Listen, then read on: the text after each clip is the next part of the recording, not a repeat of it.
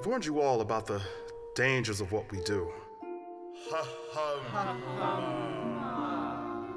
Everyone's life has some tragedy. What happened, Chris?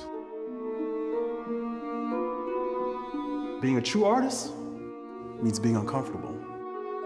Do you think Mr. Foster liked it?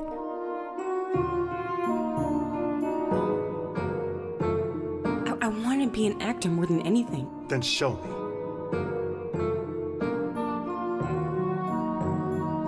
So much talent inside you if we can only find the key.